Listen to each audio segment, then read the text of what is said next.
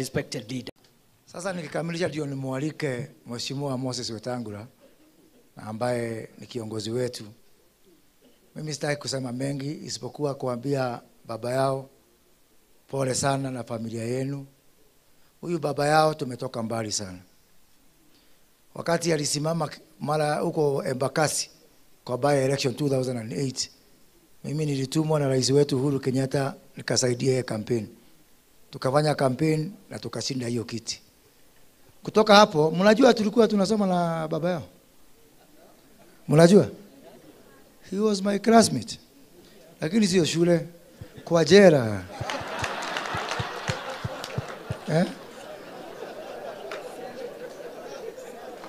So sisi ni alumni wa Pagani na sio secondary Pagani police station.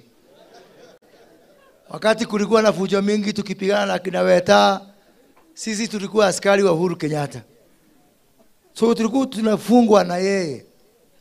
Na wacha nikwambie, ile maneno nitaandika kwa kitabu yangu siku moja juu ya huyu wakahale huyu.